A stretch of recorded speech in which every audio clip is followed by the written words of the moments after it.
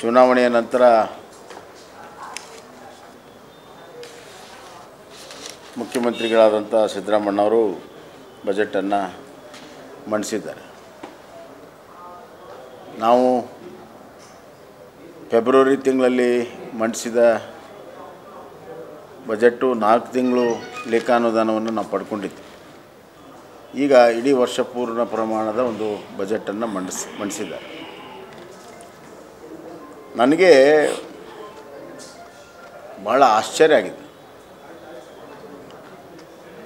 ಇವರು ಇವತ್ತಿನ ಹಣಕಾಸಿನ ಸ್ಥಿತಿ, ಅವರು ತಂದಿರುವಂಥ ಕಾರ್ಯಕ್ರಮ, ಅದಕ್ಕೆ ಯಾವ ರೀತಿ ಹಣವನ್ನು ಒದಗಿಸ್ತೇವೆ, ಮತ್ತು ಬೇರೆ ಬೇರೆ ಕಾರ್ಯಕ್ರಮಗಳು ಯಾವುದಾದ್ರೂ ಹೊಸದು ಹೇಳ್ತಾರೆ ಅಥವಾ ಹಳೆ ಕಾರ್ಯಕ್ರಮಗಳ ಬಗ್ಗೆ ಏನಾದ್ರು ಹೇಳ್ತಾರೆ ಅಂತ ನಾವು ಅಂದ್ಕೊಂಡ್ರೆ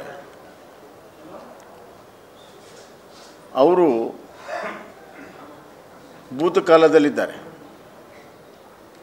ಸಾಮಾನ್ಯವಾಗಿ ಭವಿಷ್ಯ ಒಂದು ವರ್ಷದ ಭವಿಷ್ಯವನ್ನು ಬಜೆಟ್ ಹೇಳ್ತದೆ. ಇವರು ಭೂತಕಾಲದಲ್ಲಿದ್ದಾರೆ.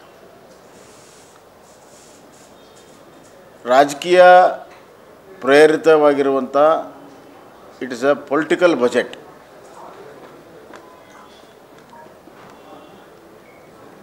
ಸಂಪೂರ್ಣವಾಗಿ ಪೊಲಿಟಿಕಲ್ ಬಜೆಟ್ ಮತ್ತು ಹಲವಾರು ಅಂಕಿ ಅಂಶಗಳನ್ನು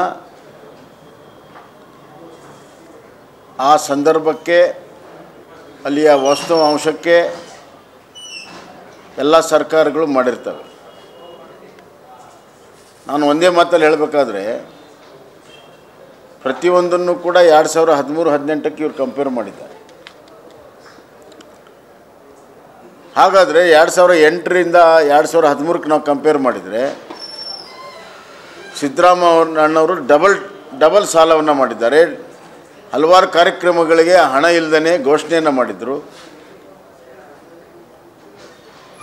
ನಾವು ಹಿಂದೆ ಹೋಗ್ಬೇಕಾ? ಮುಂದೆ ಹೋಗ್ಬೇಕಾ?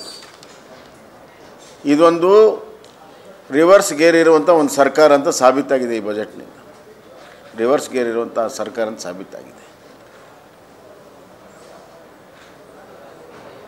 ಎರಡನೇದಾಗಿ